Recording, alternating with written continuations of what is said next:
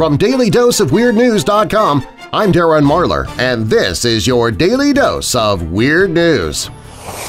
Snortable chocolate powder, it's now available in the U.S. Why? Well, your guess is as good as mine. Phil Collins says he's drinking again, despite previously saying that alcohol was killing him. Collins, who is currently on his Not Dead Yet tour, insists he can now control his boozing and is capable of enjoying a couple of glasses of wine. Okay, people, I'm not dead yet, but I may be on my way, so get your tickets now! An MIT researcher was arrested on federal charges of insider trading. Prosecutors say the man Googled how SEC detect unusual trade before he bought numerous stocks and options that netted him around $120,000 in illicit profits. The man also searched for phrases such as insider trading in an international account. Okay, you know, if you're going to do something illegal, you might want to erase your browser history. A British study conducted by researchers at Warwick University shows that receiving a promotion might pad your wallet, but it also could be bad for your mental health leading to more stress, anxiety, and depression that you're too busy to properly treat. Well, yeah, maybe, but you know what? I, am willing to risk it. A giant iceberg about the size of Delaware that had been under scientists' watch has broken off from an ice shelf on the Antarctic Peninsula and is now adrift in the Weddell Sea. So everybody, time to panic! It'll float here in about 80 years, at which point it will have already melted and no longer be newsworthy. Everybody run! Researchers in Scotland say that when dogs listen to music, they seem happiest when listening to reggae or soft rock. That, that's, that's strange. I mean, I would have guessed that they would like Who Let the Dogs Out. Australia's Dean Stinson apparently has the bar set pretty low, calling it the greatest moment of my life Stinson thought it would be fun to check as his only baggage on a Qantas airline flight from Melbourne to Perth a single can of Emu Export beer. Yep, he was thrilled to see it arrive safely, saying, there she was, alone on the carousel, proudly making her way around. It was perfection. Well, according to the BBC, Stinson has become a hero to beer drinkers with this stunt he says that he and a buddy who work at the airport were trying to figure out the oddest thing that they could successfully check in as luggage. And while it did work this time, Qantas doesn't want to suddenly see a frat party worth of beer in its luggage compartments. A spokesperson said, this guy's done it, he's won the internet for the day, so we're happy to move on. During his recent arrest for public drunkenness, Shia LaBeouf told a black police officer that he's going to hell because of his skin color and thus ends the career of Shia LaBeouf. Some places, maybe your state, have taxed sugary drinks like soda and sports drinks. In France, it's now illegal to sell unlimited soft drinks at a fixed price or offer them unlimited for free. All right, okay, fine. All right, well then sell the soft drink and then all refills are only a penny each. There you go, problem solved. Macy's is going to try Black Fridays in July to boost sales, which I know sounds crazy, uh, until you realize that that's about the time Walmart starts putting out the Christmas decorations. If you've been feeling a little under the weather lately but you can't figure out what's wrong, maybe you just need an old woman to lick your eyeball. Yep, over in Bosnia, 80-year-old Hava Celebic, or Nana Hava as she is known to locals in her village, has supposedly cured 5,000 people using the unusual technique and claims to be the only person in the world who possesses this ability to heal with her tongue. She charges 10 euros, that's about $11 here in the U.S., for the procedure in which she uses her tongue to remove pieces of lead, iron, coal, sawdust, and glass from eyeballs after sterilizing her mouth with alcohol. Uh, you know, it, it sounds to me like maybe she likes to sterilize her mouth with alcohol even when by herself. A lot. A new study finds that the Americans are far behind the rest of the world in getting enough steps each day.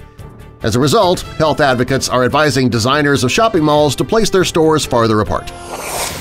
MSNBC host Joe Scarborough has announced he's leaving the Republican Party, to which the entire world responded, Wait, MSNBC hired a Republican? You love doing things on Facebook? Well, guess what? In reality, it's making you blue. A Harvard University study found that the Internet networking site and other social media are major contributors to career anxiety. In fact, the researchers declare it's actually making us miserable. Now, ironically, Mark Zuckerberg created Facebook while attending Harvard, but the Boston University researchers say the website creates an online culture of competition and comparison. It steals away our time and prevents us from forming close relationships and a comparable study at Stanford University reveals that many users have more negative experiences on social sites and overestimate exactly how much fun other people who use them are actually having. Facebook is making us unhappy by making everybody else look really, really happy, says Harvard study spearhead Daniel Gulati. Uh, so how can you avoid these Facebook traps?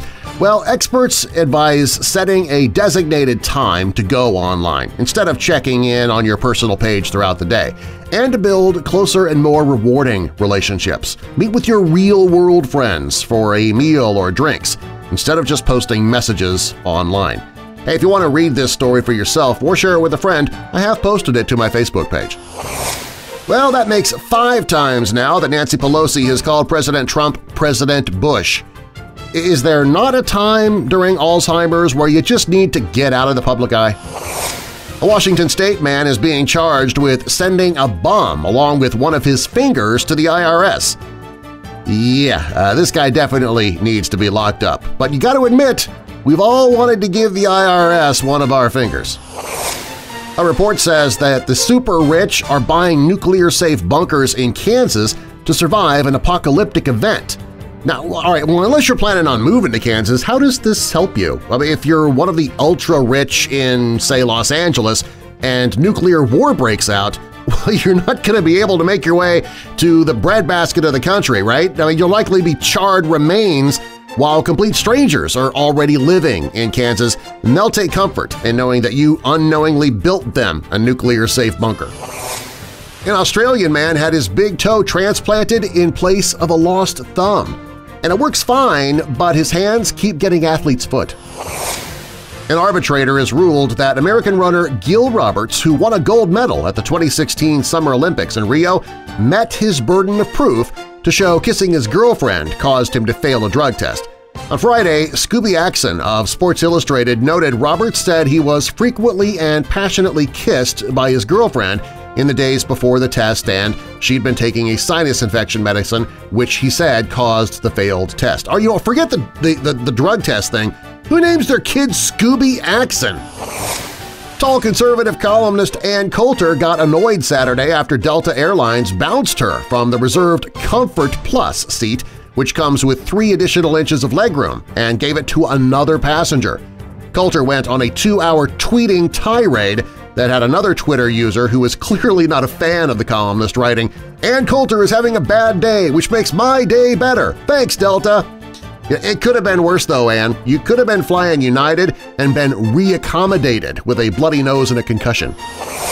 New research seems to indicate ravens can plan ahead. Baltimore Ravens, for example, are already planning not to make the playoffs.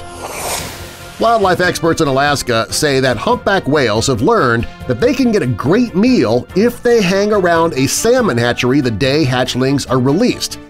It's kind of like me out in the mornings waiting for the donut shop to open. The source of the honey coming from a ceiling of a New York woman's apartment was 35,000 bees inside the wall. The story is all the buzz over the internet. Some people are expressing fears that Amazon is getting too big those same people are getting messages from their computer that their thinking is wrong. Cooking schools may soon be a thing of the past. Enrollment in culinary institutes across the country is in serious decline and some cooking schools have announced they're closing. So what's to blame? Well, high tuitions, low student aid, more restaurant positions that provide on-the-job training, and a demanding millennial workforce – although I'm sure watching Gordon Ramsay scream at all the chefs he comes across probably isn't a big selling point either. Police in Germany are searching for thieves who now possess enough cleaning products to have sparkling clean urinals for life. A truck driver parked his vehicle in a lot and went to catch some sleep. When he checked his truck early the next morning, he found that the back door to the cargo area was open. Someone stole six pallets of urinal cakes, 500 cases in all, worth thousands of dollars. My, my true hope is that, that the crooks are just so dumb they think the urinal cakes are actual cakes and try to consume them. Mmm, minty! The Samsung Galaxy Note 8 will be unveiled next month. However, they are avoiding using the phrase hot off the presses. Authorities say more than 400 pounds of marijuana has been found in 15 new cars made in Mexico and shipped to Ohio and Pennsylvania to sell. Gee, I wonder what the Mexico to America currency exchange rate is for that. If you want to boost your creativity, paint the walls of your office blue. If you want to enhance your memory, immerse yourself in red. A study from the University of British Columbia concludes that the best color to boost our ability to think creatively is blue. In addition, it found that red is the most effective at enhancing our attention to detail, findings that could have major implications for advertising and interior design. The study results found that red boosted performance on detail-oriented tasks such as memory retrieval and proofreading by as much as 31% compared to the color blue. For creative tasks, such as brainstorming, blue environmental cues prompted participants to produce twice as many creative outputs as when under the red color condition. So, all right, so what color do you paint the walls to keep you from falling asleep at the office? Well, whatever color that is, that's what I need. A new poll finds President Trump has the lowest approval rating in history for a president after six months in office. But enough about what the media thinks of him. New York City is launching a $32 million plan with the hopes of reducing the city's rat population. First up, removing Bill de Blasio. A mall in China has introduced husband storage facilities for wives to leave their spouses while they shop. I love this idea. The mall has erected a number of glass pods for wives to leave any disgruntled husbands that don't want to be dragged around. Inside each individual pod is a chair, monitor, computer, and gamepad, and men can sit and play retro 1990s games. You know, suddenly now going shopping with my wife doesn't sound like it'd be all that torturous. Who uses Facebook the most? The most active Facebook users are people who post almost nothing. Call them the lurkers. Although they rarely update their own status, the quiet ones stay logged on to Facebook longer than anyone else, reading their friends' posts and looking at their friends' photos. Facebook calls them lurkers. The rest of society calls them stalkers. Surgeons found no less than 27 contact lenses stuck in a woman's eye while preparing her for cataract surgery. The lenses, which resembled a bluish mass in the 67-year-old patient's eye, were causing the woman discomfort that she simply attributed to dry eye and old age. Rupal Morjaria, a specialist trainee ophthalmologist who dealt with the case near Birmingham, England, told Optometry Today, none of us have ever seen this before. It was such a large mass. All the contact lenses were stuck together. We were really surprised that the patient didn't notice it because it would cause quite a lot of irritation while it was sitting there. The patient said she'd been wearing monthly disposable contact lenses for 35 years but did not attend regular appointments. So just a heads up, if you wear monthly disposable contact lenses, you're supposed to remove them and dispose of them before putting new contacts in. Hence the term disposable. A study has found that the fat in food doesn't have to be swallowed to have a negative effect on the body. So if you hear a woman say, if I just look at that piece of cheesecake, it goes right to my hips, uh, she ain't lying. 9 out of 10 people who apply to be contestants on game shows are rejected. Man, that is a frightening thought. We're seeing the cream of the crop. When a Texas couple got engaged at a Garth Brooks concert in Oklahoma City recently, Garth gave them a wedding present. He's going to pay for their honeymoon. You know, although I would be wary of taking this gift. I mean, what kind of honeymoon are you going to get when the guy has friends in low places? NBC's long-running reality show The Biggest Loser has been canceled. The news comes as a shock to most of America who thought the show went away years ago. Disney's new Star Wars-themed land will be called Star Wars Galaxy's Edge and will open in Disneyland and Disney World in two years. It'll be tough to get reservations, though, as you'll need to make them a long time ago in a galaxy far, far away.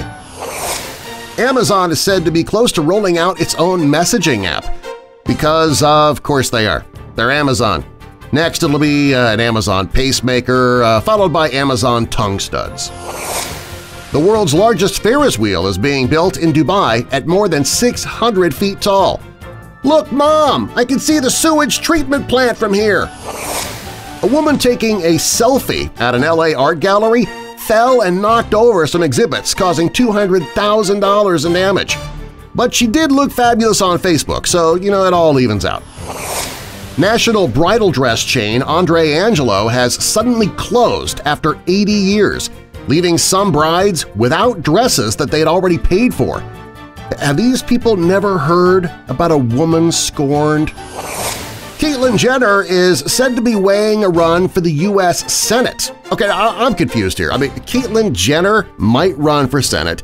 Uh, Kid Rock, he's debating doing the same thing. There's talk of Dwayne The Rock Johnson running for president. We got a game show host that is the president. Did I somehow slip into an alternate dimension a few months ago? Samsung has unveiled a 34-foot LED TV screen because apparently you needed one.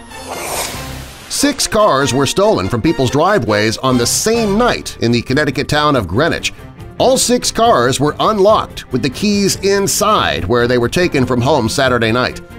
Left unlocked with the keys inside. Okay, I'm not going to say that you were asking for it, but eh, you were asking for it. It sucks when the internet goes down. It can be life-altering when it goes down for three weeks. After more than three weeks, Somalia's internet has finally returned. It's estimated it cost the country about $10 million per day. Officials and internet providers attributed this problem to a commercial ship that they said cut an undersea cable. Man, three weeks without the internet, I would be rolled up in a ball in a dark corner of the basement drooling over myself, repeatedly mumbling, the world is gone, the world is gone, the world is gone. Beloved children's character Winnie the Pooh has reportedly been blacklisted in China following comparisons between the pot-bellied bear and China's president. Yep, these are the totally rational folks we want brokering a deal between us and the North Koreans. Pocket-sized flamethrowers are being marketed to women in China as an anti-pervert weapon. The handheld devices, which are capable of hurling a stream of fire about two feet long, sell for up to $40. The mini flamethrowers have sparked controversy in China. One newspaper wrote, of course perverts are scary, but what's even more scary are these anti-pervert devices. Man, you know, even if you know the woman, I would not want to sneak up on her and startle her. In fact, I would rule out surprise parties too. Scientists say that 70 years after the U.S. tested nuclear bomb after nuclear bomb on land in the Pacific known as Bikini Atoll, the wildlife there is actually remarkably well. It's doing well, it's flourishing. Uh, the only difference they have noticed, though, is that the animals are a bit larger and often desire to attack Tokyo. A Virginia Beach, Virginia woman is accused of arson after investigators say she purposely set a potted plant on fire. The charge is a Class 3 felony, which means the 29-year-old could go to jail for anywhere from 5 to 20 years if convicted. Man, somebody needs to tell this lady that setting a potted plant on fire, that is not the same as smoking pot. Okay, now this is just hilarious. Or sad, I guess. It depends on what side of the political aisle you're on. A new Bloomberg poll, it shows Hillary Clinton is viewed less favorably than President Trump, despite Trump's historically low approval ratings. So maybe you don't get those pantsuits dry cleaned for the 2020 campaign just yet, Hill. A study says many U.S. children suffer lower back pain. You know, I used to tell my mom that. That's why I couldn't clean my room, but she never bought it. In Northern California, Judge Michael S. Williams has lost his job because apparently he could not resist the urge to swipe two Art Deco-style business card holders from a judge's dinner in San Francisco. The Commission on Judicial Performances censured Williams, and he agreed to resign effective December. Williams was attending a dinner hosted by a Matrimonial Lawyers Association in March 2016 when he took two cardholders in the Art Deco decor of the City Club of San Francisco. They were each worth about 30 to $50. The commission says Williams returned the cardholders after being informed that he was caught on video. So the judge expressed remorse, said he had an unexplainable impulse to take the cardholders. So a judge's career destroyed over the theft of something less than a hundred bucks. You know, if you can't be trusted with the small things, how can you be trusted with the big things? Speaking about calls from all sides to cut down or out his use of social media, President Trump argues they want to take my voice away. Trump claims it's my voice, they want to take away my voice, they're not going to take away my social media. Uh, Am my MTV. I want my MTV. San Francisco school officials have banned chocolate milk because they say it contains too much sugar. They're also banning sugary soft drinks, non-sugarless gum, and Def Leppard's Pour Some Sugar on Me just to cover all the bases. Researchers have found that an all-corn diet can quite literally turn a female hamster into a deranged cannibal. A new study found that the European hamster, which once used to feed on a varied diet of grains, roots, and insects, is not doing so well on a diet limited to industrial-grown corn. The study notes that the hamster species is on the verge of extinction in Western Europe. The all-maize regimen has turned the burrowing critters into deranged cannibals that eat their own offspring. Do you see what you're risking here by going vegetarian or vegan? You might be the beginning of the zombie cannibalistic apocalypse. New research seems to indicate that Tyrannosaurus rex couldn't run, and they were extremely poor dancers. Sometimes a price increase is so steep it must be criminal. A woman in Australia called police to report that her drug dealer was asking way too much for marijuana. The woman told police she was completely offended at the outrageous price hike. What an, what an idiot! Calling the cops for pricey pot? No, that is a call for the Better Business Bureau. A melting glacier in the Swiss Alps has given up the bodies of a couple that went missing 70 years ago. The ice preserved them as they were when they disappeared all those years ago. Scientists are baffled, though, as to why one of them looks like Brendan Fraser. A new study says that people in Seattle spend 58 hours a year parking their cars. You know, I'm guessing that number doubles during Christmas shopping season. America's bacon reserves are currently at a 50-year low. On the plus side, our cholesterol levels are looking a heck of a lot better. Heidi Montag says she has gained 25 pounds during the first six months of her pregnancy. Uh, you know, I hate to break it to you, Heidi, but chances are you're not carrying a 25-pound baby. Some of that extra weight is you. Lifetime is going to debut a new show next week where they show blind dates live. Obviously not a true reality show because nobody in their right mind is going to want cameras watching their first date with somebody when everything you do is already being judged by the person you're hoping will be the one. A team of engineering students from UC San Diego is on a quest to discover whether the moon provides the necessary conditions to brew beer. Wait, wait, wait, is there something wrong with brewing beer on Earth here somehow? I mean, what, are we going to have beer shortages unless we're able to start brewing in space? Why didn't somebody warn us about this? All right, excuse me, I have got to go stock up on some Guinness. A New Mexico man is facing charges after police say he threatened to pull a gun on a taco shop employee for giving him the wrong order. Bullets, Taco Bell, you know, neither one's good for your health. Our phones and various other devices are causing poor posture as users are spending one to three hours each day hunched over their phones, and that's leading to back and spine problems. We're actually turning into a society of mindless walkers. How long before we start craving brains? Donnie Wahlberg paid it forward recently to a waitress at a North Carolina Waffle House. The New Kids on the Block star left a $2,000 tip on an $82 bill at the Waffle House in Charlotte. Wahlberg wrote on Facebook, My mom waited tables and my dad tended bar for years, so when I walk into a Waffle House and the staff treats me like a, king, like a king, you better believe I treat them like queens. I'm sure he meant that better than it came out, though. John Mellencamp's son, Speck, was arrested for public intoxication and fighting in Indiana on Saturday night. He fights authority, but authority always wins. The marital bed, once a symbol of holy matrimony, may someday be a relic of the past. Nearly 25% of married couples in the United States now sleep in separate beds according to the National Sleep Foundation. Separate sleeping arrangements, they're so popular that the National Association of Home Builders says it expects 60% of custom homes to have dual master bedrooms by this year. Barbara Tober, the former chairwoman of the Museum of Arts and Design, told the New York Times recently that not, when, not that we don't love each other, but at a certain point you just want to have your own room. Well, well, yeah, I mean with the snoring, the hogging of the covers, the cold feet, the passing of gas, of course you'd want to get away from that. And, uh, and that's just talking about the family dog. Former middleweight boxing champion Jermaine Taylor has been arrested after allegedly biting a woman's arm and face and threatening to kill her. Well, of course he's a former boxing champion. Now he can't even beat up a girl without biting her. Two adult men drowned in the Ungwazi River in Africa while they were being baptized. Victory Christian Center pastor Samuel Kamingwa later said, following the incident, we've agreed on some measures that will ensure the safety of our followers during baptism in the rivers. Kamingwa added that churches were considering increasing the number of ministers at baptisms. They'd also only baptize one person at a time, while others are kept at a safe distance and will choose a time when the water is calm enough for the ritual. Last year, six children died during an early morning baptism in a stream, and in January 2015, two elderly Pentecostal church pastors drowned in a river in South Africa where they had gone to baptize four junior church members.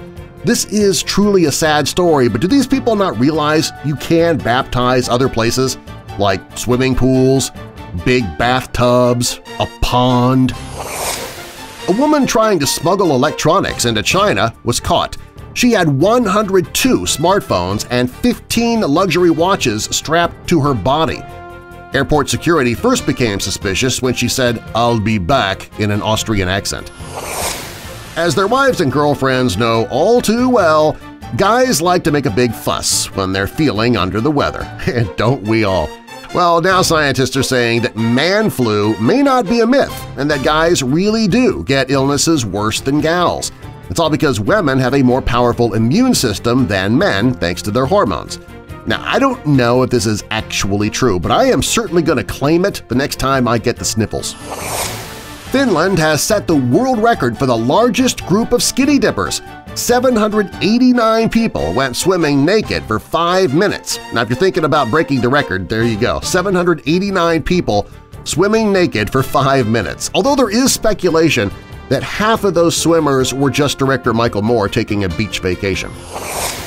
An Israeli student whose grandparents survived the Holocaust has admitted to stealing items from the Auschwitz death camp for an art project. Rotem Bides visited the former Nazi Germany camp in Poland several times and removed items, including a sign forbidding people from taking anything. But perhaps most ironic of all, she says she did it to fight Holocaust deniers. The Auschwitz-Birkenau uh, Museum called the acts outrageous and demanded the objects return. More than a million people, mostly Jews, were killed at Auschwitz during World War II. The objects from Auschwitz, which also include shards of glass, small bowls, a metal screw, and soil, they formed part of the 27-year-old's final project. Perhaps even more outrageous, Bide's supervisor at, Bur at uh, College, the Israeli artist Michael Naiman, said that she did not see anything wrong with what Vides had done, adding, the way I see it, she succeeds in creating a unique encounter between art and an event that has passed and has been wrapped in a lot of words, symbols, and representations. So apparently Israeli colleges don't have ethics classes.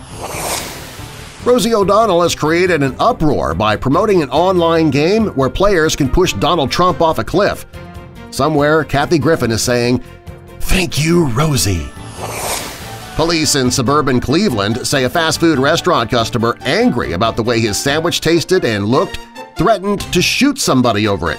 Police say the 20-year-old man complained that the egg on his sandwich at a Steak and Shake was runny and slimy and looked like spit. You know the best way to ensure that you will get spit on your sandwich? Threaten the staff with a gun, saying it looks like spit is in your sandwich. Trust me, you are not going to want what comes back to you in that sandwich. Grapes and the wine made from them can help protect your skin from sun damage.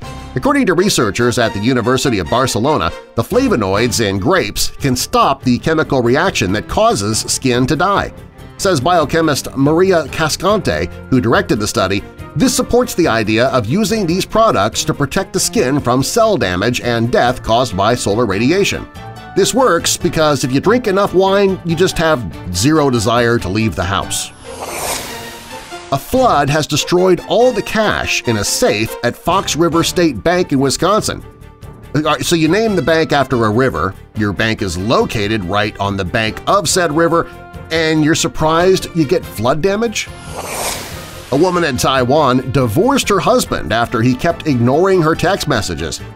I'm having a hard time seeing who the winner is in this story, the woman who got away from her apathetic husband or the husband who got away from the woman who wouldn't stop texting him a hundred times a day. The study suggests that sleepwalking is apparently a surprisingly common phenomenon in American households, Scientists from Stanford University School of Medicine found that about 3.6% of U.S. adults are prone to sleepwalking, which is a higher proportion than previously thought. Nocturnal wandering is also tied to certain psychiatric conditions such as depression, anxiety, and obsessive-compulsive disorder. And getting gooned out on Ambien. Good news, people with broken hearts! Stalking of your ex on Facebook is totally normal a study reveals that 88% of spurned lovers track their exes on Facebook, and 31% of respondents have changed their profile picture in an attempt to make their exes jealous. And it is good to know social media has brought out the responsible adult in all of us, isn't it? Please support my channel by sharing the Daily Dose of Weird News on Facebook, Twitter, Reddit, and other social networks. If you like this video, please give it a thumbs up and be sure to subscribe if you want to see more and click that little bell icon next to the subscribe button to be notified when I post new videos. You can find even more weird news that I didn't have time for at dailydoseofweirdnews.com. I'm Darren Marlar, and I'll see you next time, Weirdos!